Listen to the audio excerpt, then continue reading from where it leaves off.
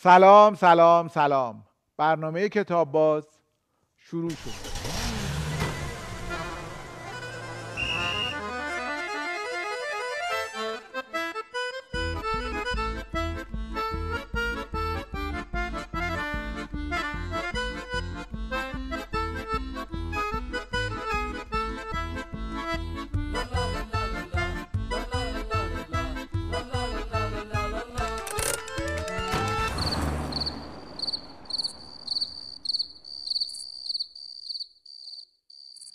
فرشید قلیپور بازیگر، کارگردان و نویسنده به کتاب باز. خیلی خوش اومدین. خیلی ممنونم. به شما و همکاران خودتون سلام میگم. به همه خانم ها آقایون بیننده سروران عزیزم عرض ادب دارم و تبریک میگم به تیم خوب این برنامه هم تایکانده محترم سرداری و همه بچه که دارن زحمت می‌کشن. مدت بلند این برنامه رو که نشانه موفقیت و تاثیرگذاری مستقیمشه. و خوشحالم از اینکه روبروی شما نشستم که از آرتیستای خلاق و خوشفکر و خوشنام این مملکت این هستم. لطف شماست محبت شماست هم به من و هم به برنامه کتاب نه. واقعا آقای سعد اینجا تو این برنامه من پنج فصل بینندش بودم البته از فصل دو دروغ نگم خیلی از بزرگان ادب و هنر این مملکت اومدن تو این برنامه نشستن و الان من ذوق مضاعفی دارم و به قول حضرت سعدی از دست و زبان که برایت که از عهده شکرش بدهد؟ قربون شما برم. میگم قدر این لحظه رو. می‌دونم. قربون شما. خیلی. خیلی ممنونم. آقای قلی پور شما تو چه کارهایی بازی کردید؟ توی کدوم مدیوم ها بازی کردید؟ آقای سعد من سالها تو شهرستان زندگی کردم و تئاتر خیلی برای ما مدیوم مهمی بود. یعنی تنها عرصه ممکن برای کار بود.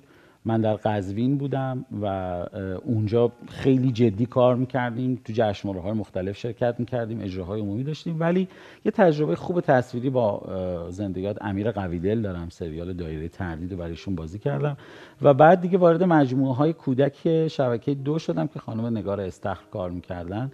یه چهار پنج سال مداوم با ایشون کار کردم. خیلی تجربیات خوبی برای من تو این عرصه بود. و بازیگری در تئاتر چه ویژگی داره که خیلی میگن که ما مثلا برامون بازی در تئاتر مهمتره از اونجا یاد گرفتیم. آره. آیا هر کسی که می‌خواد بازی بکنه بهتره که تجربه تئاتری داشته باشه به زعم شما؟ باید دانش داشته باشه. لزوما دانش رو صحنه تئاتر ممکنه به دست نیاد. خیلی تعبیر نفس به نفس رو اعلام می‌کنن میگن تئاتر پویاییش به خاطر اینکه تماشاگر ریاکشنش رو همون لحظه داری دریافت می‌کنی. البته یه آفتی هم داره. ممکنه اون جذابیت باعث بشه که من تو بازیم تاثیر بذاره. ولی در مجموع تئاتر اجازه اشتباه به آدم نمیده. من؟ حق توپق ندارم. اجازه یک اینکه میزانسن میگن توپق مال بازیگره. آره آره پیش اومد شده. دیگه گفتیم به قول آقای شکیبایی میگه توپق زدی رد شو برو بعدی. ولی نباید توپق زده بشه. میزانسن اشتباه ممکنه بازی بازیگر من رو تحت تاثیر قرار بده. من یه دیالوگ جابجا بگم ممکنه یه صفحه متن پیش بیفته یا عقب بیفته. همه اینها به پویاییش کمک می‌کنه. شما که هم تئاتر کار کردین هم تلویزیون کار کردید و هم سینما کار کردید درسته؟ کوتاه. البته هنوز آه. فرصت حضور در سینما ندارم بله. کدوم یکی؟ یعنی بعضی هستن که فقط توی یکی از این عرصه ها فعالن بعضی در دو عرصه بعد چه تفاوتی داره چرا بعضی فقط یکی رو انتخاب می‌کنن چرا انتخابه بله همین که شما میفرمایید ولی من خودم شخصا به یه چیزی اعتقاد دارم آقای سعد میگم هر مدیومی ویژگی خودش رو داره میشه بگیم ویژگی های این بله، بله. سه مدیوم بله، بله. بله، حالا من. تازه به این سه مدیوم می‌خوام اضافه هم بکنم چقدر خوب. می‌خوام بگم یه حرفی رو من مثلا ممکنه در مقام فیلمساز تصمیم بگیرم که در قالب یک فیلمنامه بنویسم. بعد میشینم فکر می‌کنم میگم خب قصه این پتانسیل رو داره و این کشش رو داره که مثلا من 100 دقیقه اثر بسازم دکوپاژش کنم لوکیشن رو بگیریم و بریم ضبط بکنیم. یه وقتی هست می‌بینم که نه اون قصه مدیومش سینما نیست. این باید رو صحنه گفته بشه. توی یک long shot مشخص تو بازه زمانی مثلا یک ساعته قصه شروع بشه بازیگرا بیان. نهایت اینکه دو تا سه تا پرده نور بره و بیاد عوض بشه. و گفته بشه. یه وقتی از همه اینها نیست. یعنی من نگاه می‌کنم می‌بینم که نه این باید یه سریال بشه که مثلا تو 25 6 قسمت 50 دقیقه‌ای گسترشش داد جزئیاتش رو گفت. یا اینکه اصلا هیچ کدوم اینا نیست. اصلا قابلیت تصویری شدن نداره. این باید رمان باشه. بعد دوباره نگاه می‌کنم نه شاید تو 400 صفحه هم کشش نداشته باشه راجع به این موضوع صحبت کرد. داستان کوتاه. نه شعر نه هایکو دو خطی. و شاید اصلا هیچ کدوم اینا نباشه. من بشینم برای شما به عنوان یه ایده یه خاطره تعریف بکنم پس شما از قصه و داستانتون می‌رسید به اون در به واقع مدیوم. بله. این نیست که مثلا تصمیم بگیرید که من می‌خوام یک نمایش نامه بنویسم نه. یا من می‌خوام یک نمی‌دونم فیلم سینما البته استثنا داشته آقای سعد. مثلا من سه تا نمایشنامه آینی سنتی نوشتم که خب اینها ویژگیش اصلا این بوده که روی صحنه اتفاق بیفته. نمیشه اینو تصویرش کرد. ولی نه همینطور که شما میفرمایید. یعنی اول قصه رو پیش خودم میسنجم. میشه اینو تصویریش کرد یا نمیشه؟ بعد تصمیم می‌گیرم که تو کدوم مدیوم این خیلی جالبه که اول قصه به ذهنتون میاد بله. و بعد بر اساس قصه تصمیم می‌گیرید که این قصه رو آره. کجا در واقع خرجش کنید. البته من اقتباسی خیلی دوست دارم فیلم چرا؟ برای اینکه فکر می‌کنم حداقلش اسکلت درستی به لحاظ روایت قصه داره. و من فقط باید آداپتش بکنم با فرهنگ خودم با قریحه خودم با سلیقه خودم و آنچه آموختم. اینا رو همه رو ترکیب بکنم به عنوان یک فیلمنامه مستقل ارائهش بدم. تا به حال کار اقتباسی بله داشتی؟ من پنج تا فیلمنامه اقتباسی نوشتم. حتی یکیش کودکه. یعنی فیلمنامه کوتاه یا بلند؟ بلنده همش بلنده. از پیتر کارناواس من فیل رو اقتباس کردم. اسمشو گذاشتم گنده مونده. و یک فیلم نامه یک کوتاهی که برای اولین بار شاید اگر بشه ساخت ویژوال. خیلی می‌تونه بهش کمک بکنید ساخته شده اینا. نه دوست دارم که بسازمش. از شکل شمشیر برخس من یه کار اقتباس کردم نوشتم. از گرترود هرمان حسه یه دونه کار نوشتم. یه مجموعه های داستان کوتاه خاطرتون باشه. مجله همشهری داستان. بله. داستان های کوتاه فراوانی توش داشت که البته خود شما خیلی فعال بودین. من هفت تا از اون قصه های کوتاه رو اقتباس کردم. در قالب یک فیلمنامه بلند با هفت روایت یعنی هفت آدم می‌بینیم که یک حلقه متصلی دارن. اونم باز به نوعی هست و یه نمایشنامه از اشمیت عشق لرزش اونم باز اقتباس بفهمین چه کاری به نظرتون قابلیت اقتباس رو دارن؟ در وهله اول باید با فرهنگ ما جور در بیاد. البته ما دو نوع اقتباس داریم. یکی اقتباس نعل به نعل هست یعنی شما فقط ور می‌دونین اگه مثالی هم به ذهنتون اومد بفرمایید مثلا بگین اقتباس نعل به نعل. اگر احیانا مثالی به ذهنتون اومد. خب مثلا من خودم توی نمایشنامه عشق لرزه که اقتباسیش کردم به نام به نام به عنوان یک فیلمنامه اقتباسی روش کار کردم نعل به نعل کار کردم. ولی نعل به نعل یعنی دقیقا هر چی اونجا بود. آره چون آخر رویداد خیلی خوب بود.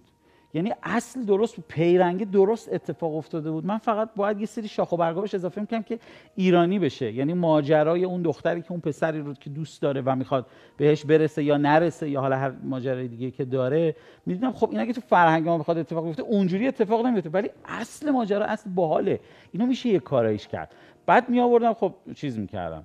کار می‌کنم. ولی مثلا خانه عروسک که آقای مهرجویی بر مبناش اون پایان بندی که داره سارا رو وقتی کار کردن به نظرم به عنوان یکی از موفقه میشه به عنوان اثر اقتباس یا گاف خونی که خود از ایتالیا هم بازی داشتین توش خب از یک رمان خیلی خوب اقتباس شد. گاو مثلا از عزاداران بیل اینا نمونه هاییه که میشه مثال زد.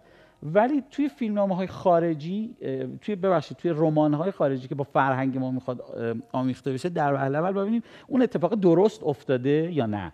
یعنی اتفاقا قصه رو باید تا پایانش خون نمیشه نیمه کار رهاش کرد. تا پایان خون ببینیم جمعبندی کاراکترها شخصیت پردازی. اصلا شرح رویداد اون جزئیاتی که داره بهش اشاره می‌کنه با فرهنگ ما جور در میاد. به قول معروف حالا خودمونی ارزش وقت گذاشتن داره یا نه. ولی خب یه وقتی ما یه اثری مطالعه می‌کنیم انقدر اون اثر درخشانه که دلمون نمیاد رهاش بکنه. حالا منی که مثلا دغدغه اقتباس دارم شاید بیشتر هی دارم می‌خواد که از یه در دیگه وارد شم. از اینجا میشه یه کاری روش کرد. حالا این بودش رو ندیده گرفت. روی این قسمتش میشه کار کرد. مثلا شکل شمشیری که من از برخست برداشت کردم یه قصه کوتاه 4 5 صفحه‌ایه. ولی من ازش یه فیلمنامه بلند در آوردم اینقدر تخیلم رو باهاش به کار بستم تا به یه فیلمنامه رسیدم که میشه خیلی معتقدن که برای یک فیلم سینمایی ستونش فیلم نامه است. آره. و مدت هاست که برای سینمای دنیا هم صحبت می‌کنن که اگر مشکل فیلم نامه نباشه فیلم های بهتری خواهید داشت. هیچکاک معروفه دیگه که از یه فیلم نامه متوسط میشه یه فیلم خوب در آورد اما یه فیلم نامه بد نمیشه. نمیشه. آره. شما به نظرتون در واقع اصل و اساس در سینما چه حالا ایران چه خارج فیلم نامه است یعنی فیلم نامه است که باعث میشه ما بتونیم فیلم های بهتری داشته باشیم یا فیلم های ضعیفتری. میگم این مدت ها سرش آره. بحث و صحبت هست. یه عده موافقن یه عده مخالفن. نظر شما چیه؟ من میگم این آره این که شما فرمایید منم همین اعتقاد رو دارم. ولی یه پیش مقدمه داره. اونم. اندیشه است. یعنی اساسا فیلمسازی که اقدام به ساختن فیلم می‌کنه باید اندیشه کاملی داشته باشه که بخواد یه اثری رو بسازه. بعد حالا شروع بکنه این فیلم نامه رو. یا نوشتن یا انتخاب کردن یا حالا. اگر که این بخش اندیشه رو ما هر کاری که بالاخره آدم فکرهایی به ذهنش متبادر میشه. ولی فکر کنیم فقط ما برای تفریح بریم. فقط برای اینکه بخوایم یه فیلم صرفا پرحادثه ببینیم پر از تعلیق ببینیم یا بترسیم یا فقط و فقط بخندیم. این این چجوری این سلیقه من نیست. آها. من قصه رو بیشتر دنبال می‌کنم. آها، یعنی آها. فیلم باید داستانی رو تعریف بکنه. یه حرفی براتون آره باید یه چیزی یه آغازی یه سرانجام این گره افکنی گره گشایی یا یه, یه چیزی ملموس باشه شسته رفته که با اون بشنم ارتباط برقرار کنم. و شاید هر فیلم رو به نظر من باید چند بار دید یه بار اول به عنوان یه بیننده بشیم تحت تاثیرش قرار بگیریم. حتی گریه هم باش بکنیم بخندیم کیف کنیم. دم دمش کرد چه فیلمی بود؟ ولی یه جاهایی باید نشست و تحلیل کرد که ای این حرفه یعنی اون. مثلا اگر شما دارین یه فیلم لهستانی نگاه می‌کنید باید بدونین که توی مثلا جنگ جهانی دوم چه بلایی سر لهستان اومده که حالا این فیلم داره بروز پیدا می‌کنه. یا چه می‌دونم مثلا من خودم فیلم های مورد علاقم سرنگ کیشلوفسکیه. خیلی دوست دارم و اینا جامعه شناسی پشتش آدم بدونه و بعد لذت. شاید دفعه اول نگاه می‌کنی مثلا جولیت بینوش توی در دادگاه باز میشه نگاش می‌کنی اه، این همونه که تو آبی بود. ولی چه اندیشه پشتشه که این اتفاق داره میفته از آبی بعد همینطوری میاد تا پایین. بله. خیلی ممنونم.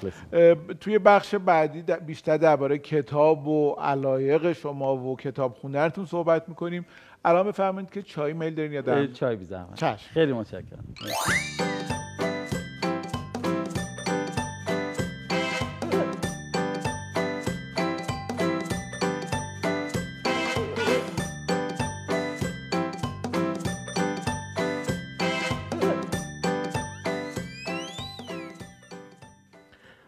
قلیپور اه، انتهای بخش اول گفتید که قصه براتون خیلی مهمه. اه، خودتون فرزند دارید. بله بله. و براش قصه می‌خونید تعریف می‌کنید. بله حتما. قصه می‌سازید براش. خودش قصه می‌سازه آی سعد. من یعنی چی؟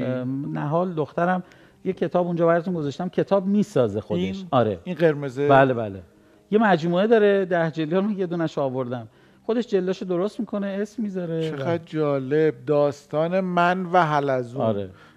نهال چند سالشه؟ نه سالشه. ماشاءالله. سلامت باشید سلام به نهال عزیز و کتابی که در... اجازه است من کتاب باز کنم. بفرمایید بله چقدر خوب.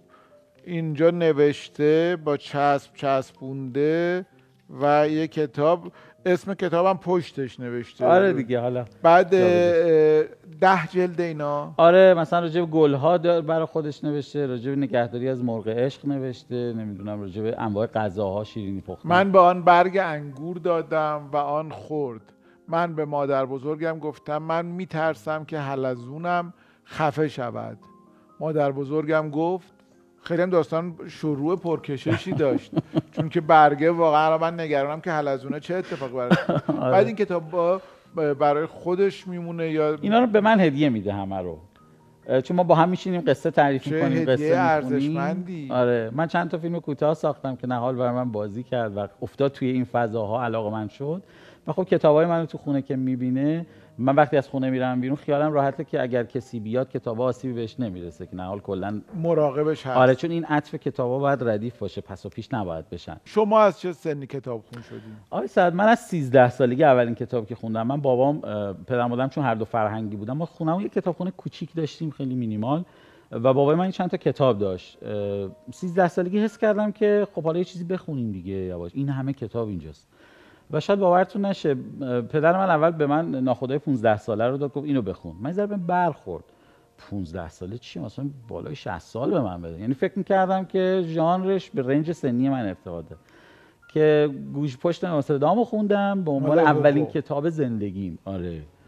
و بعد بینوایان ویکتور هوگو و بعد شروع کردم به نمایشنامه خوندن. و دیگه بعدش یادم نیست چیا خوندم. ولی اولین کتابی که خریدم سال 77 هشت کتاب سهراب بود که اون شاعرانگی اون شورانگیزی تصویرسازی اون حس ناب انسانی که تو کاراش جریان داشت منو نگه داشت. خودتون هم شعر میگین درسته؟ آی سعد من ادعای شاعری ندارم. من شعر رو در یک قالبی گفتم. مثلا من یک کتابی دارم به نام کافه های نرفته هدیه های نگرفته. الان هست اینجا. بله میشه بدم خدمتتون. برای اگه اشکال نداره معرفی کنم ببینم. بفرمایید. خیلی خیلی متشکرم. من برمی داشتم کافه های نرفته هدیه های نگرفته دفتر شعر فرشید قلیپور انتشارات مهرگان دانش. بله. در چه قالبیه که آقای؟ سعد اینو مثلا نمیشه وسطشو باز کرد یهو خون اینو باید از اول تا آخر بخونیم من یک قصه ای رو تعریف کردم با شعر. بله. یک رویداد یک آدمیه که منتظر رسیدن کسی دیگه در کافه هست. خب خب و اه، هرچه بر سرش گذشته رو من در قالب تک شعر آوردم. منتها این به این معنی نیست که مثلا صفحه 70 باز کنیم و به عنوان شعر مستقل بخونیم. حتما باید از اول. بله. یه قصه است در واقع ولی حالا به شکل شعری. چقدر جالب. خواهش. پس من الان مثلا صفحه 9 رو باز کردم. شما نه. از همونش ممکنه لذت ببرین البته شاید. ولی مفهوم کلیش در قالب تمام اثر هست.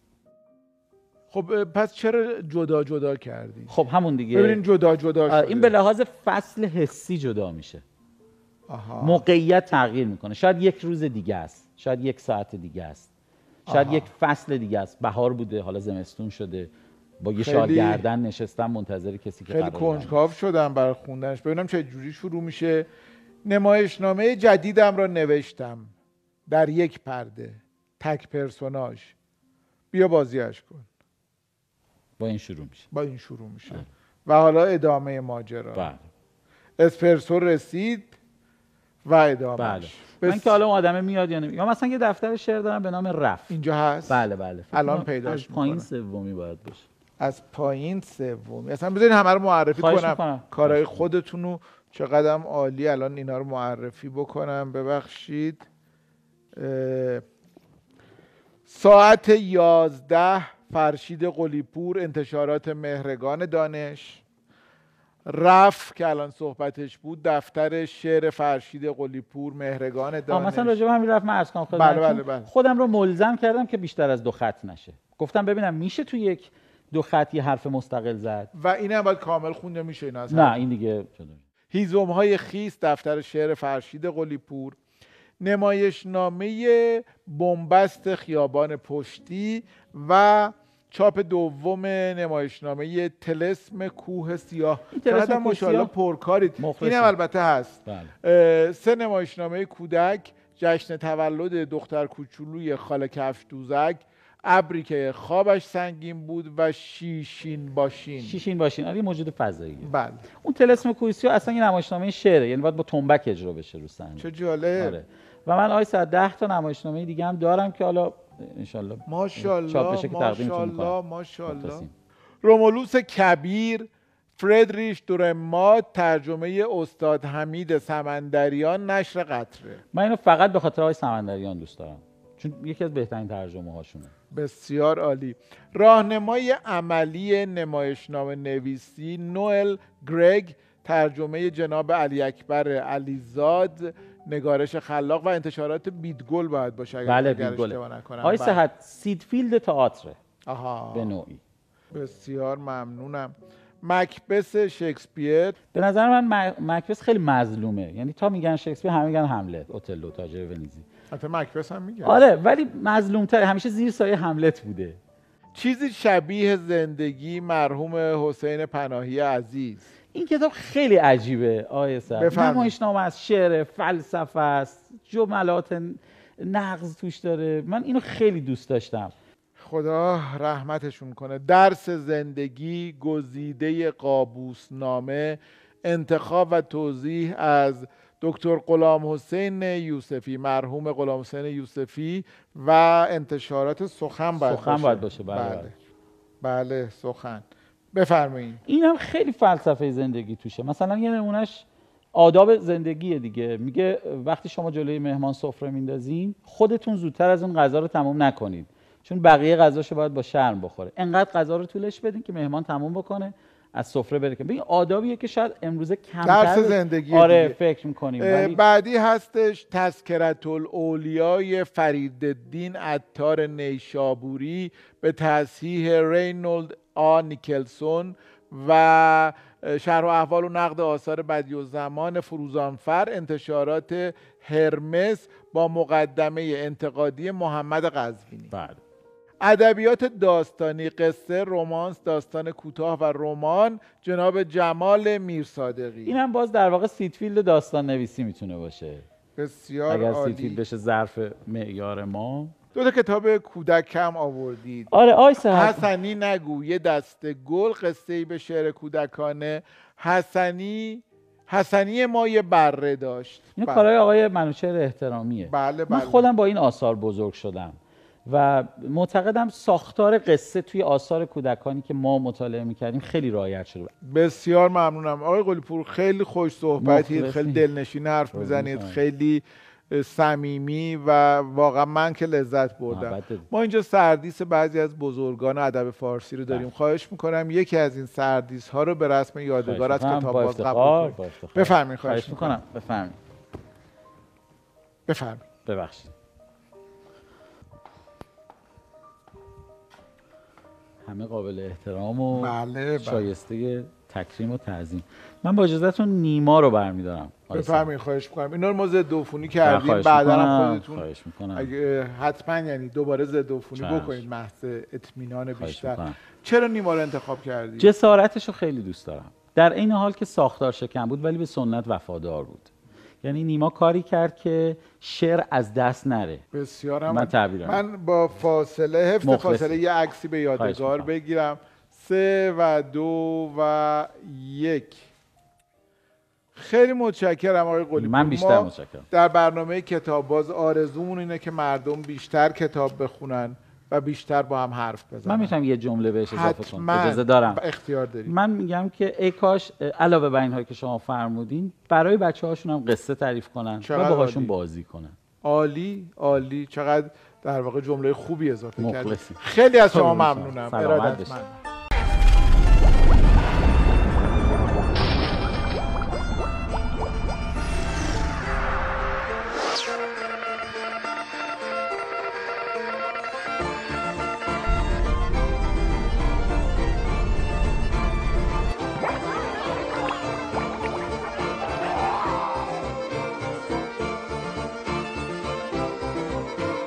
سلام.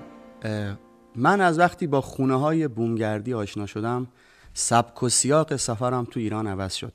قبلش بیرون از ایران هر وقت پیش اومده بود که هر وقت که میگم منظورم شاید 98 درصده. به جز وقتایی که مثلا فستیوالی جایی دعوت کسی بودیم و هتل می‌گرفت برای ما حتما و قطعا می‌رفتم هاستل که اونجا قطعا دلیلش مسائل مالی بود. خیلی دلم می‌خواست اگه میرم توی کشوری هتل برم 5 ستاره 4 ستاره ولی نمی‌تونستم. اما تو ایران خب به تب ممکن بود که زورم برسه. ولی از وقتی که آشنا شدم با یک مفهومی به نام خونه بومگردی دیگه همه هتل های زندگیم تعدیل شد. اگر و فقط اگر وارد یک شهری شدم و قبلش نتونسته بودم یک خونه بومگردی گرم و شیرینی پیدا کنم از سر اسرا از سر استرار و با انکار قلبی وارد یک هتلی می شدم. خیلی خونهای بومگردی ایران رفتم و خیلی باشون رفیق شدم و یه اتفاق خیلی عجیبی میفته خیلی شهر هست که دیگه برای من چیزی برای دیدن ندارن. یه بار دو بار بس بود. ولی باز میرم اونجا که برم اون خونه بومگردی. و عجیب این که اگر دو روز سه روز چهار روز اونجام شاید بگم 90 درصد اوقاتم تو اون خونم و بیرون نمیام. چون خودش داخلش داره یه اتفاقاتی میفته که به نظرم یک جامعه ایدئال یک ایدئالی که من در مورد ایران و افراد و آدمها و رفتارشون با هم دارم تو اون خونه های بومگردی داره اتفاق میفته. مثلا یکیش که خیلی رفتم یه جایی هست تو تفت یزد که رفتم و خیلی هم خوشم میاد و وقتایی هم که دارم برمیگردم سمت تهرون تو قطار یا هر چیزی میگم که کاش کار نداشتم و میموندم و بر نمیگشتم. دیروز پیروز یکی همون پسری که یه زن و شوهرن که اونجا تینا و رامتین. زنگ زد گفت که تهرانم و اینا کارت دارم یه مشورتی دارم می‌خوام اگه بشه نیم ساعت یک ساعت ببینم. گفتم والا اینجوری گرفتارم و اینا. بذار بهت زنگ بزنم. امروز این کار رو دارم فردا مثلا ضبط کتاب باز و اینا. قد کردم یهو گفتم ای خودشه. براشم بهش زنگ زدم. گفتم بیا هر کاریم داری بریم کتاب باز با هم دیگه حرف بزنیم. برداشتن اومدن کتاب باز که با هم حرف بزنیم. حالا اینجا نشستن. این پسر اسمش رامتینه اون خانم اسمش تیناس زن و شوهرن و درجه یکای روزگارن که از اوناست که دلت می‌خواد تو کشور تکثیر بشن مثل واتو واتو. خیلی باشن. رامتین من خیلی خوشحالم که تو اینجایی. خیلی هم عجله دارم به من استرس دادن. بعد برم برسم به راهن. بلیت قطار دارن که برن یزد. حالا اگه جاموندی خونه من. استرس برنامه گرفته تا. بچه خیلی خوشحالم که اینجا چون من از صمیم قلب دوستتون دارم و کلی آدم مثل شما هستن که من دوستشون دارم. یعنی الان تصویراشون تو ذهنمه. از بندر ترکمن و گمیشان شروع کن برو تا گنبد و بیا پایین برو سمت کردا بیا سمت هرمز سمت بوشهر سمت خیلی خیلی به من خوش میگذره اونجا. ما خیلی خوشحالیم که اینجاییم و یکم به این میکروفون نزدیکتر آره خیلی خیلی ممنون که گذاشتیم ما بیایم اینجا و قصه بومگردی اینجا مطرح بشه. چون بومگردی خودش آدماش واقعا آدمای با قصه و اصلا بومگردی جاییه که آدما میرن و قصهشون رو برای اون صاحب تعریف می‌کنن. یعنی آدما تو بومگردی خودشون میشن کودک درونشون میشن. و ما شاید نماینده اون همه آدم خوبیم که بومگردی دارن خب. یا رام بیا از همین الان دیگه رسمی حرف زدن اینا بذاریم کنار. باشه, باشه. و به من بگو که تو چه می‌کنی؟ چه فن ناآزموده ای داری که حال آدم خوبه تو خونتون؟ توی بونگردیشون توی تفت اطراف یزد و مثلا سه چهار تا اتاق داره. یه چیز کاگلی کوچیکی که وقتی داخلش میگیشی میگی خب رفیقام چرا اینقدر گفتم برو اینجا خوش میگذره بهت؟ و من اولین باری که یادم نشسته بودم وقتی رسیدم اولا که منتظرم بودن. خیلی عجیب بود. چای آماده کرده بودن. بعد یه پسری از پشت من اینجا ها ماساژ داد. برگشتم دیدم اینه. این. اینه. و اون ماساژ دادنه هیچ ادایی توش نبود. هیچی توش نبود. هیچ تأثیری تو قیمت خیلی ناچیز موندن تو اونجا نداشت. از ته دل و جیگرش داشت انجام می‌داد. چون هر چی که رفتم جلوتر دیدم عین واقعیت یه بار اولین بار که خواستم باش تصفیه حساب کنم گفت نه پول نمی‌گیرم. فلان گفتم باید پول بگیری. هر چی سر جاش باید به استمرار این حرکت کمک بشه. رفتی پولی گفتم کارت بکش بیا. اومد یه مشتی عددی بود. من گفتم خب اوکی کشید. بعد دقت کردم نوشتم دیدم نوشته 39000 و مثلا 478 ریال. شلوغش کرده بود که رد گم کنه. به هر حال business هدف اولشون نیست و فکر می‌کنم این اولین عامل موفقیتشون. خب بگین دیگه می‌خوام خیلی حرف بزنین که چطوری حال آدما خوب می‌کنین تا قبلی که قطار راه بیفته حرف بزنین. قطار بدون راه نمیفته ما ما خیلی سعی کردیم که خونه‌مون فقط خونه باشه. یعنی ببین چون ما اونجا زندگی می‌کنیم بوی خونه میده اونجا. که وقتی که مهمون میاد مهمون خودمون میشه. انگار من توی اون خونه و واقعا توی اون خونه زندگی می‌کنم و منتظر مهمونم. ما تا شیش ماه پیش اصلا تابلو نداشتیم که آدما رهگذری اصلا ما رو پیدا نکنه ما اصلا نمی‌خواستیم مهمون رهگذری. یکی که داره میاد یزد هفت که ما رو ببینه که اونجا باشه زنگ می‌زنه آقا ما 20 کیلومتری یزدیم. بچه پس چه دقیقه دیگه می‌رسه این چای فلان. همه چی آماده است برای اینکه یک مهمون وارد بشه و ما با تموم قوا میزبانش باشیم و کیف کنیم با هم. ما منتظرشیم. بیشتر از اینکه اون بیاد ما منتظر مهمونیم. و همه چی شبیه خونه است. یعنی هیچ چیزی شبیه مغازه نیست. هیچ چیزی شبیه هتل نیست. هیچ چیزی به تو نمیگه. اینجا تو قراره که پول خرج کنی. من اجازه میدی یه پرانتز باز کنم برای کسایی که تجربه بومگردی ندارم بگم که ذخیره کردن پول وقتی یه بار رفتین می‌بینین که ذخیره کردن پول آخرین دلیلیه که من بعد شما ببینین خونه بومگردی. ببین شما برو بهترین هتل پنج ستاره جامائیکا ایران برزیل بلژیک. تو از رسپشنش که رد شدی یه دالون های درازی است که در دو طرفت اتاق های شیکی که میری داخلش و دیگه تمام. تمام خنده ای که دربونش تا رسپشنش تا هر کی که باید میاد کیف و, سام... کیف و وسایلت بیاره همش یه قواعدی هن که یک رئیسی صبح تا صبح بهشون گفته اینا رو رعایت کنین. هیچ اونا یک. یک موتورهایی و یک رباتهایی هستن که گوشت و پوست به شکل انسانن. تو خونه بومگردی همه چی آدمی زادیه همه چی واقعیه. چون تجربهش کردم و چیز عجیب غریبیه. درباره مهمونه خارجی و حجم مهمون خارجی که می‌گیرین که حرف می‌زنیم. میشه یکم در مورد چیزی گفتی اول حرف بزنم. ما وقتی یکی یه مهمونمون میاد پذیرش اصلا با تو خونهمون میز پذیرش وجود نداره اتاق پذیرش وجود نداره. وقتی میاد اول اولین کاری که می‌کنیم ماساژ و بعد چاییه. یعنی اول چایی می‌خوریم با هم گپ و گفت می‌کنی و ازش میگه که آیا تو رزرو داشتی؟ تو کدوم تو کدومشونی که زنگ زده بودی؟ خب؟ و بعدش بعدش بهش اتاق میدیم و حالا مثلا مدارک می‌گیریم و از این کارا. و وقتی که می‌خوایم بدرقه کنیم همه مهمونایی که تو خونن با ما میریم اون مهمونی که داره میاره بدرقه می‌کنیم. یعنی بعد تو خونه ما حداقل 20 دقیقه طول می‌کشه. آب میپاشیم. کلی میگیم نرو تو رو خدا نرو زود بیا. ازش خود می‌گیریم که برگرد پیش ما و بعضی وقتا میشه که ما داریم میایم مسافرت مثلا مثل الان اومدیم تهران مهمونایی که تو خونن میان ما رو بدقه می‌کنن. میان پشت سر ما مهمونایی که مثلا ما با میمونن پیششون یا بچه‌ها میمونن اونا میان پشت سر آب میپاشن و یعنی بدقه یعنی همه چی مثل, مثل مهمونیه مثل مهمونیه که میاد خونتون. یعنی و این این این معنی بومگردی. تو بومگردی شما کودک درونتون زنده است. خودتون یعنی تو هیچ قالبی نیستید تو هیچ پرستیجی نیست خیلی تو زندگی خودتون تاثیر گذاشت؟ خیلی. من خیلی رشد کردم واقعا. من مامانم بعد یک سال که من دید جوری بود که تو اندازه سه سال بزرگ شدی اندازه پنج سال بزرگ شدی. خیلی جالب بود برای من که رشد شخصیت. چون هر آدمی که میاد یه دنیایی داره. میاد از یه زاویه هایی به تو یه چیزایی میگه. که تو میگی چه جالب این زوایا هم هست. میشه اینجوری هم فکر کرد میشه اینجوری هم زندگی کرد. هر کدومشون یه مثالی واقعا ما یه سری شبا من شبا که میخوابیدم واقعا هی فکر می‌کردم چقدر جالب. و ما چرا تو اون قوطی کبریت خونمون مونده بودیم؟ وقتی که آدم ها رو می‌بینی می‌بینی چقدر جالب میشه زندگی کرد. در مورد مهمونه خارجی چطوره اونا؟ اونا هم خیلی خیلی دنیا دارن واقعا. خوب بودن. یعنی خوبن یه چیزی عجیبی که مواجه شدم چون وقتی که من بودم چند تا بودن.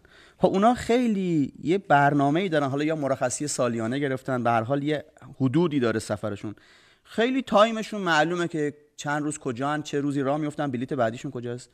90 درصد یعنی اون روزی که من بودم و سه نفر بودن که 100 درصد و بعدم فهمیدم 90 درصد آدمایی که میان اونجا این قالبشون رو میشکنن و تمدید می‌کنن.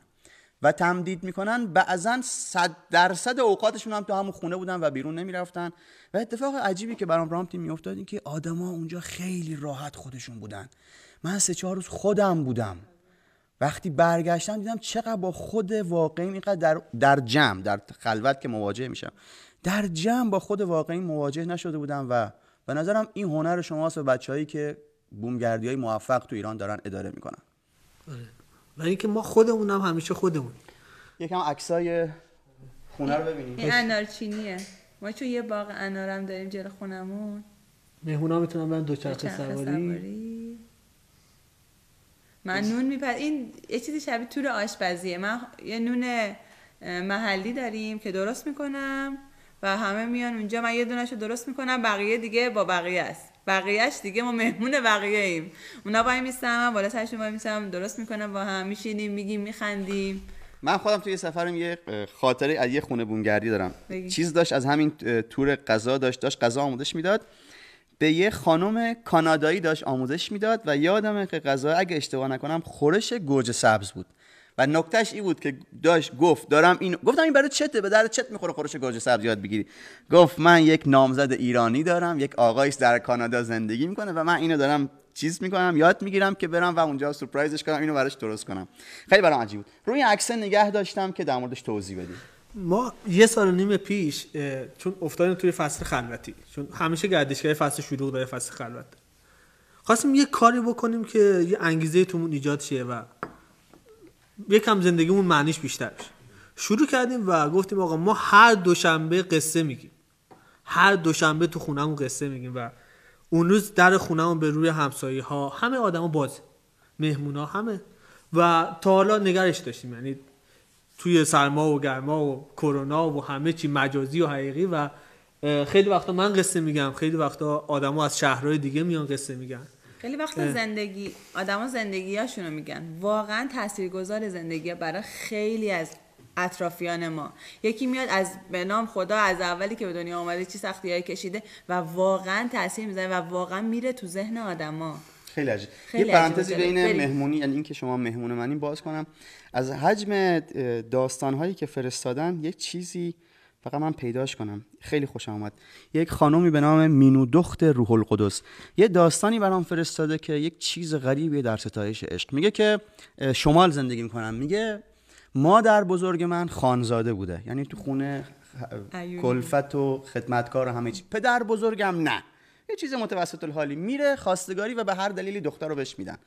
دختر رو که می‌گیره به خاطری که خله اون امکانات خونه پدرش نباشه همه کار می‌کرده. یعنی جای همه چی و هم عاطفی هم فیزیکی همه چی رو پر می‌کرده.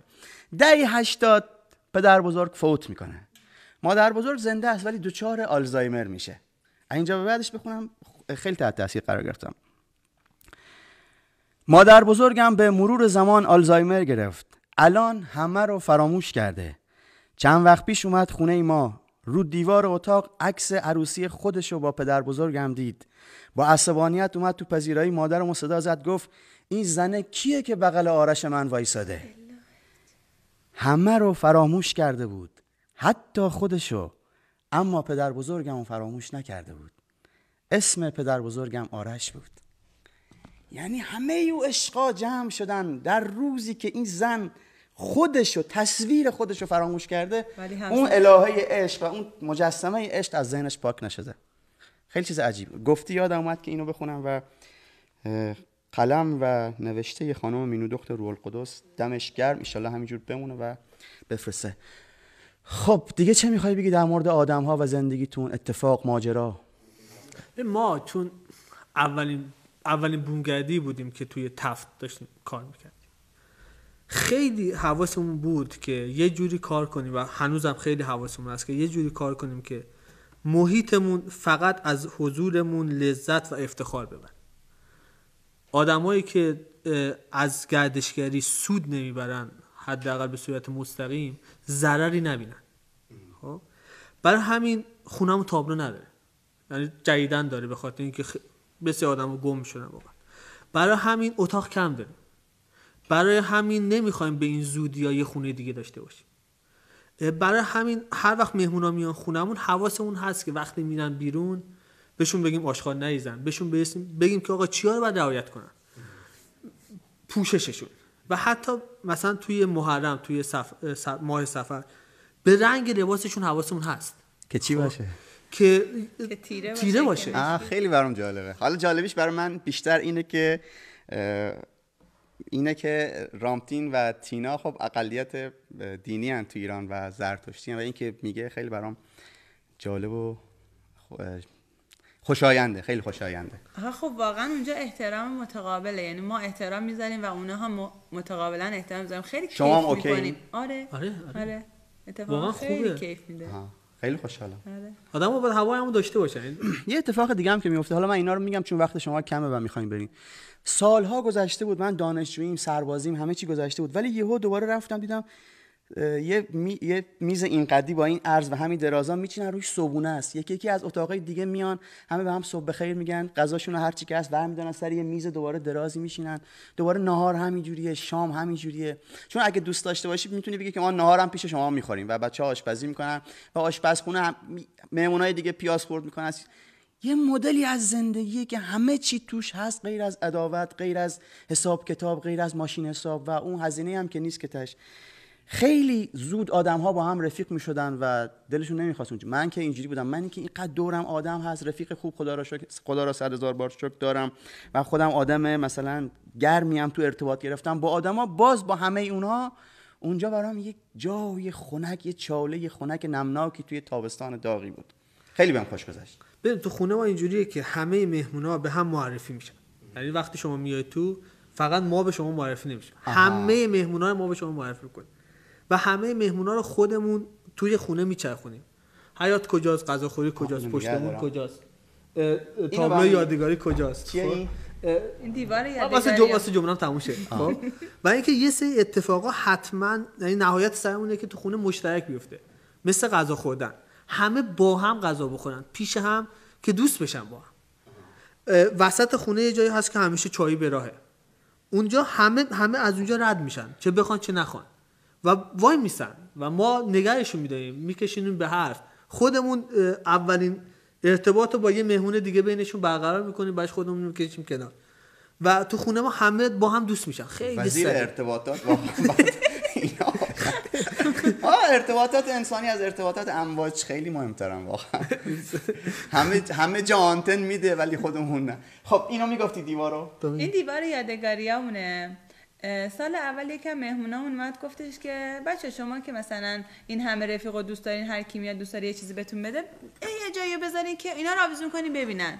بعد ما گفتیم چجوری؟ گفت یه قاب کوچیک. می‌بینی اون قاب رو؟ الان دو تا قاب تو تصویره. یه قاب کوچیکه. اول اون قاب رو چسبونیم گفتیم هر کی دوست داره به ما کادو بده. قاب خالی. یعنی قاب یه خالی. قاب توی دیوار. یه چند تا دونه توش بود.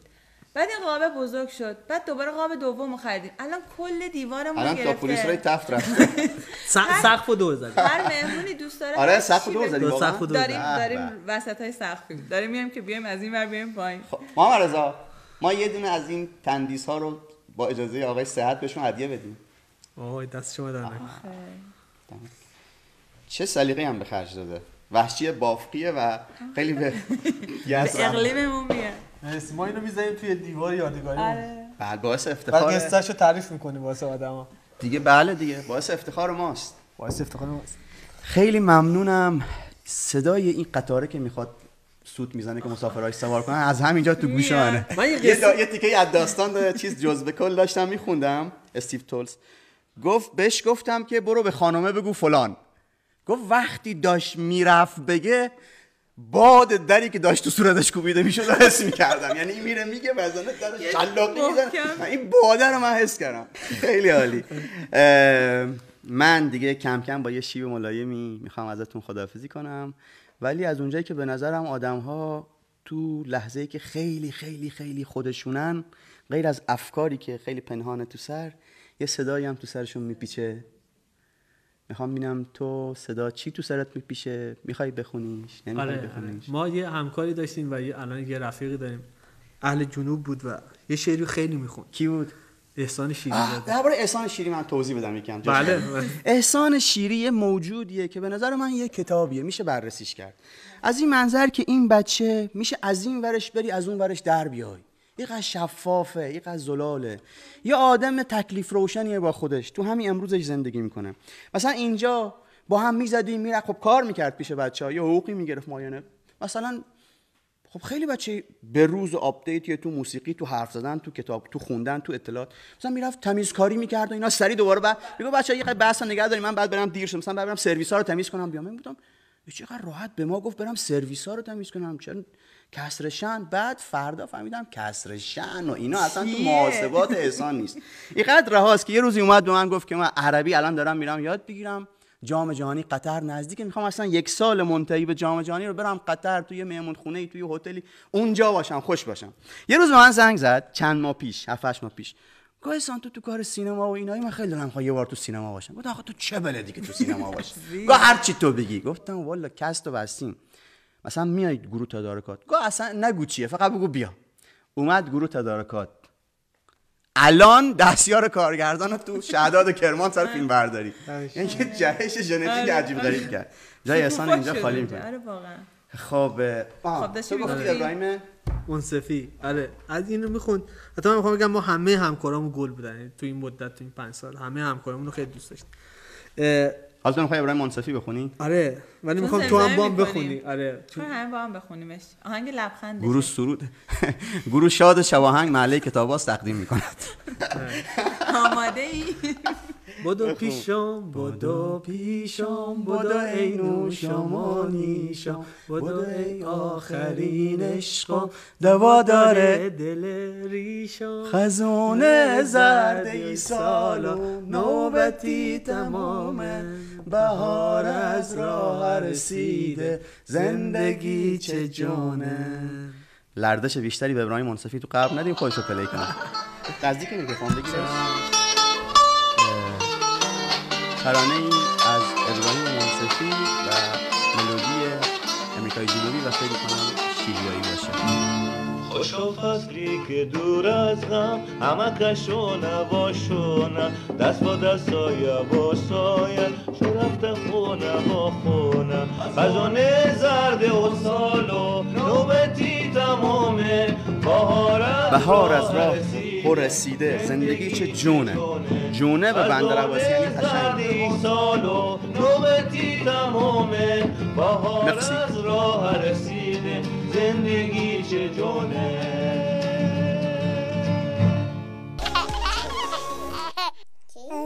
خانم مصطفی زاده سلام. سلام. ارادتمندم بفرمایید که در این برنامه از چی می‌خواین در این؟ برنامه من در ابتدا می‌خوام اون دوتا کتابی که راجع بهشون حرف زدیم رو خدمت شما اینا رو هنوز یه هفته. دیگه مهلت باقی بود. سلامت باشه دیگه ما زودتر آوردیم که این یه هفته رو خیلی خوشحالم. خیلی ممنونم. چقدر خوب که یه هفته هم زودتر. کتاب ایدای بزرگ برای دختران و پسران بلند پرواز نشر نو کتابی برای ذهنهای کنجکاو و استدلال های بعد واقعا خوشحالم کردید. خیلی ممنونم. من بلافاصله بعد از برنامه اه، وجهش رو تقدیم می‌کنم که اگه بازم درخواستی خواهش می‌کنم هدیه دارم. خیلی. ممنونم موضوعی که من می‌خوام این دفعه براش کتاب معرفی بکنم اول می‌خوام یه کوچولو راجع به اینکه چرا اصلا انقدر مهمه حرف بزنم من می‌خوام کتابهایی معرفی بکنم که موجب میشن بچه ها به میهنمون ایران علاقمند بشن. چرا مهمه که علاقه مند بشن میهن ما مثل برای بچه ها به خصوص نقشش خیلی شبیه نقش مادره. اون چیزیه که من ازش امنیت و محبت می‌گیرم. حتی اگه یه مادری مادر بدی باشه حتی اگه مثلا فرض کنید یک بچه این مادرش رهاش کرده باشه و رفته باشه همیشه روانشناسا میگن که بد اون مامان جلوی بچه نگید. حتی اگر واقعا بد باشه. ازش خوب بگید چون اون یه بخشی از هویت بچه است وقتی دارید بد اونو میگید دارید بد هویت بچه رو اشتباهی که خیلی که متارکه می‌کنن مرتکب بله میشن. بله متاسفانه. و این به بچه نه خیلی آسیب نه می‌زنه. برای یعنی پشت سر پدر باید بر جلوی بچه باید گفت نه پشت سر مادر. بله. علا رقم اختلافی که ممکنه بین به این پدر دلیل که واقعا اون بچه در بخشی از وجودش احساس بد بودن می‌کنه. یه عذاب وجدان شدید یه احساس بیکفایتی می‌کنه و این تا آخر عمر باهاش خواهد بود. اصلا دیگه قابل جبران کردن نیست. درباره کشورم همینطوره. درباره میهن. حالا میهن ممکنه خونه من باشه شهر من باشه کشور من و حتی جهان باشه. اگه من شروع کنم هی بد گفتن یا بچم رو آشنا نکنم که علاقه مند بشه این بچه من بیریشه میشه. آدم بیریشه به هر حال به درد نمی‌خوره. اون ریشه باید یه جا محکم بشه و من احساس کنم بیا تلاش کنیم بیا بهترش بکنیم. آدمی که علاقمند باشه به محل زندگیش. حالا میگم این محل زندگی کره زمینه. وقتی علاقمند باشیم تلاش می‌کنیم برای بهتر کردنش. باید علاقمند به زمین باشیم که برای محیط زیستش دل بسوزونیم. باید علاقمند به کشورمون باشیم که بخوایم یه کاری انجام بدیم. به همین دلیله که خوبه که بچه هامون رو علاقمند کنیم به میهنشون تا اینا واقعا موجودات به درد بخوری بشن و اون قسمتیشون که اون بخشی از هویتشون که بر اساس محل زندگیشون محل تولدشون ساخته میشه تو اون قسمت احساس خوبی نسبت به خودشون داشته باشن خیلی مهمه. من اجازه می‌دید من یه چیزی هم اضافه کنم. فکر می‌کنم حالا شما نظرتون رو بگین که خیلی مهمه که بچه ها رو علاقمند کنیم و عاشق میهنشون باشن. و بدونن که این عشق به میهن به معنی نادیده گرفتن سایر مردم ها و سایر کشورها نیست. ما همسایه هامون هم برامون عزیزن و محترمن. مردم کشورهای دیگه هم. ما میهنمون میهن ماست. کره زمین هم کره که ما قطعا همینطوره. میگم میهن می‌تونه یعنی اون جایی که من بهش تعلق دارم از خونم شروع میشه و تا هر چقدر بزرگتر اصلا نمیشه این کارو کرد. یعنی نمی‌تونی بگی میهن تو دوست داشته باش ولی کره زمین رو دوست نداشته باش. اینو با هم جور در نمیان. تناقضه. مثل اینی که مثلا بگی بابا تو دوست داشته باش ولی فامیلش رو دوست نداشته باش. واقعا اون احساس بده منتقل میشه اون وقت. اه، چیکار کنیم که بچه‌هامون علاقه من بشن؟ یکی از راهاش اینه که بچه رو پیوند بزنیم با ادبیاتش تاریخش و جغرافیش. یکی از بهترین مجموعه ها برای این کار یک. مجموعه بسیار قدیمی. این مال دوره ماست. بله. قصه های خوب برای بچه های خوب قصه هایی از کلیله و دمنه چاپ هشتاد. اینو من تازه گرفتم. بله نویسنده مرحوم مهدی آذر یزدی بزرگ واقعا بزرگ واقعا بزرگ. و نشر امیر کبیر. نشر بله. امیر کبیر اینا رو تازه با چاپ جدیدی زده. یعنی یه بار دیگه حروف چینی کرده و خیلی خاناتر دفتر کودک و نوجوان شکوفه وابسته به مؤسسه انتشارات امیر کبیر. بله. ما هنوز نسخه قدیمیشو خونه مادر خودم داریم. این کتاب برای سالهای پایان دبستان مناسبه. قبل از اون ممکنه بچه ها متوجه نشن. کاری که مرحوم آذریزدی انجام دادن که کار واقعا شایسته تقدیریه اینه که نشستن. همه منابعی که میشه از توش قصه در آورد رو. قابوسنامه گنجنامه بوستان گلستان همه رو خوندن. خودشون توی یه مؤخره در یکی از جلدهای کتاب توضیح دادن که من اینا رو خوندم و قصه هایی که برای بچه مناسبه رو انتخاب کردم. مثلا اون جلدی که چند تا کتاب بود فکر می‌کنم همین قابوسنامه و گنجنامه و یه چیزای دیگه بود. گفت ببین دیگه نگردین اینا رو. دیگه قصه ای که به درد بچه بخوره این تو نیست. یا مثلا اشاره های جنسیتی. خب یه موقعی توی ادبیات ما واقعا یه. آره نگاه جنسیتی نسبت به زن خیلی نگاه مطلوبی نبوده. یا اشاره های جنسیتی داره یا خشونت داره و اینها مناسب بچه نبوده. من اونا رو حذف کردم. همین چند تا دونه داستان مونده ازشون. تازه خودش میگه من بازم اون داستانا رو یه جاهایی مجبور شدم مثلا قصهشو یه جاهایشو حذف بکنم یا ولی اون کاری که انجام داده با نقاشی های استاد ممیز که واقعا جذاب کرده. من یادمه که ما بچه بودیم چقدر میشستیم به این جزئیات تصاویر فکر می‌کردیم. یه کار فوقالعاده است. برای بچه ها انگار که همه اون منابع رو یه دور قصه هاشون رو خونده. حالا ممکنه این بچه علاقمند بشه و بره اصل کتاب رو بخونه توی سنین بالاتری که براش خوندنش راحت تر یه باشه مستندی از زندگی آقای آذری یزدی از سالهای آخر زندگیشون بود نمی‌دونم بله، دیدم. چقدر تاثیرگذار بود مرد تنهایی که زندگیشو وقف بچه ها کرد و چقدر ساده زیست بله. چقدر بی توقع اصلا نگم کم توقع بی توقع یه محیط کوچیکی که با کتاب ها بله. زندگی کرد لابلای اون کتاب ها واقعا در تنهایی زندگی رو گذران و وقف کرد کل و. کاری انجام داد که که تا ابد هست اصلا. خیلی موندگار و هنوز جذاب یعنی بچه های امروز هم می‌خونن هنوز براشون بله، بسیار جذابه بله.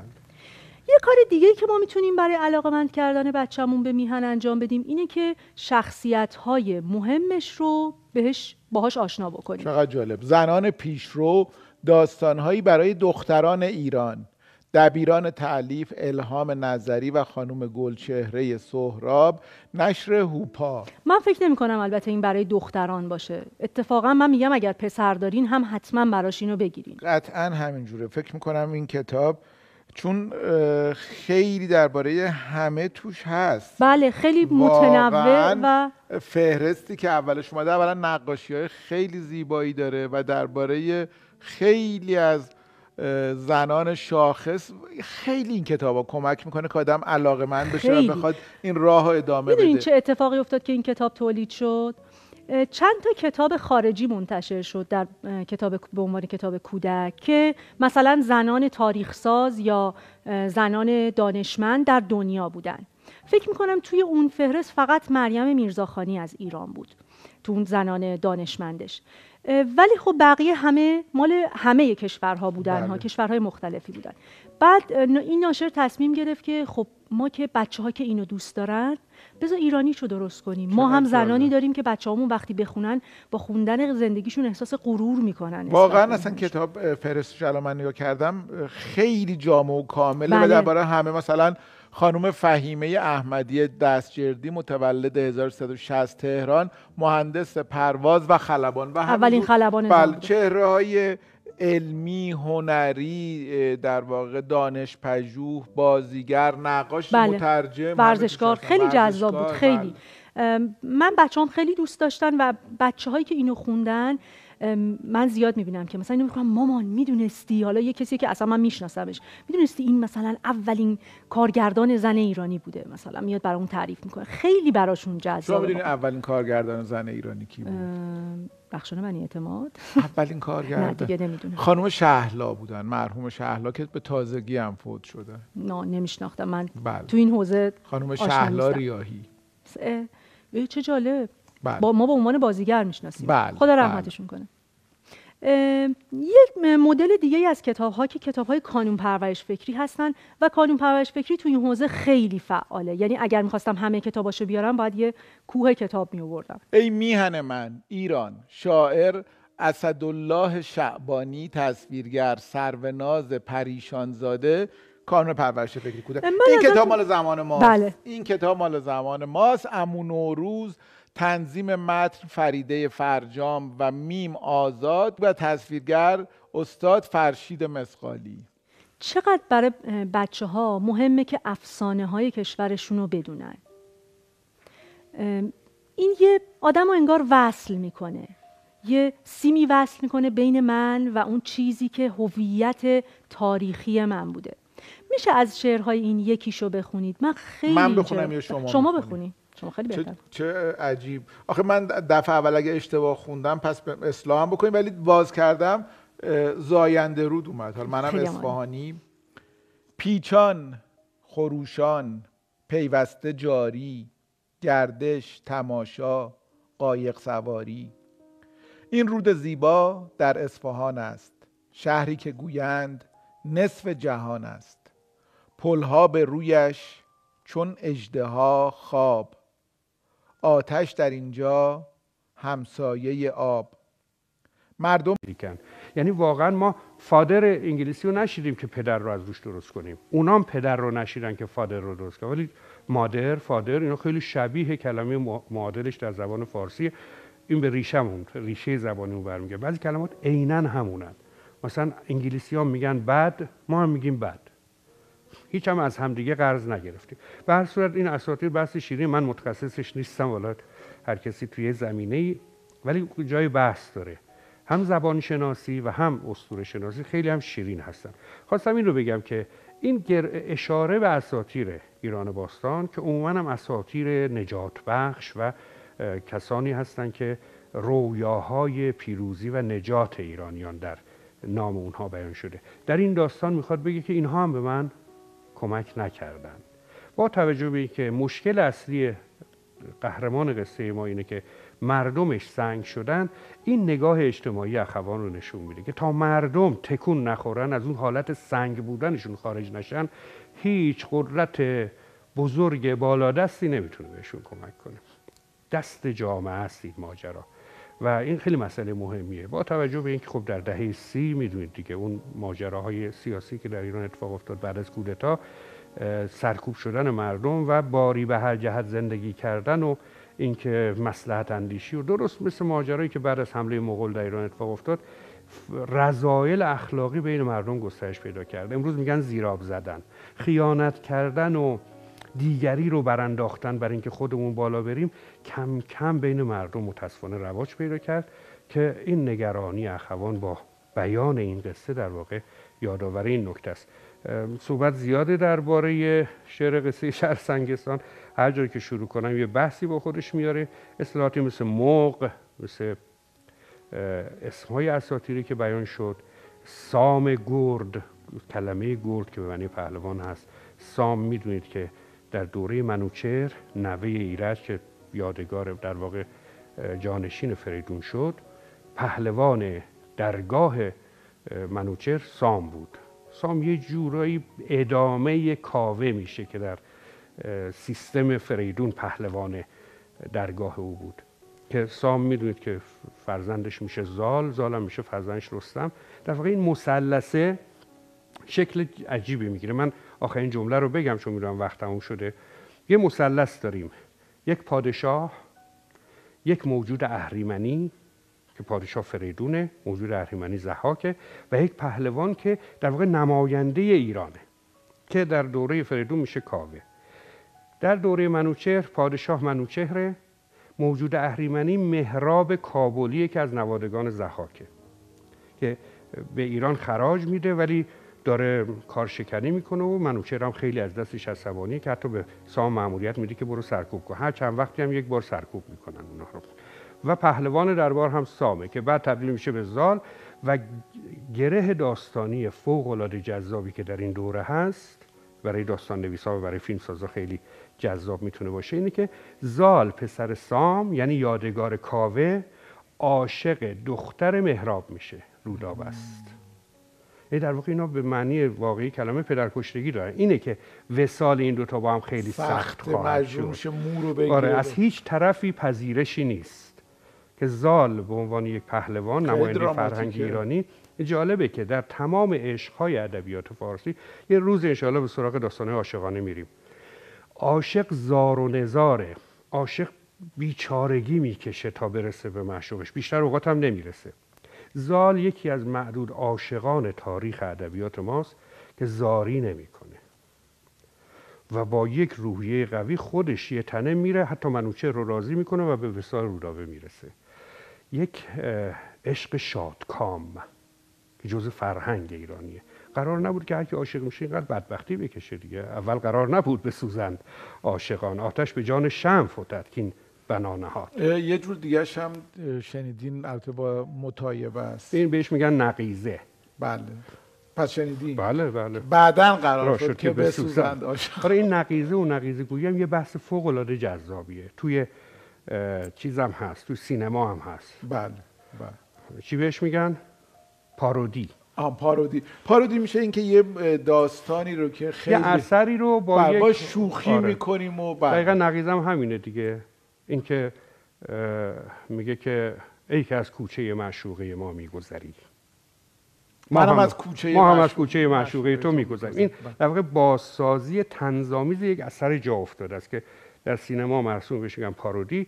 در ادبیات ما نقیزه بهش گفته میشه. چقدر امروز مثل همیشه از شما من یاد گرفتم و مطمئنا بیننده هم خیلی لذت بردن خیلی خیلی خیلی. متشکرم بحث درباره اخوان. ثالث بزرگ ادامه داره خیلی متشکرم و خدا نگهدار